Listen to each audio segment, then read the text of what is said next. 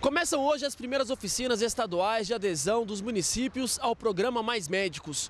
O objetivo é esclarecer as prefeituras sobre o funcionamento do programa e estimular a participação. Os encontros acontecem no Ceará, Minas Gerais e Bahia. O Mais Médicos faz parte do Pacto de Melhoria do Atendimento aos Usuários do Sistema Único de Saúde, o SUS. As inscrições de médicos e adesões de municípios podem ser feitas na internet até o dia 25 de julho. De Brasília, Leandro Alarcon.